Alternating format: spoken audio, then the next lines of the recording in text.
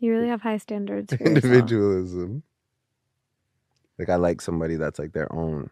They're not just like a carbon copy of like a person that I've seen a bunch of times throughout my existence. I like somebody with like a sense of humor, you know? Mhm. I don't know, like I'm asking you to just physically. What what? do you want them to dress up as? No,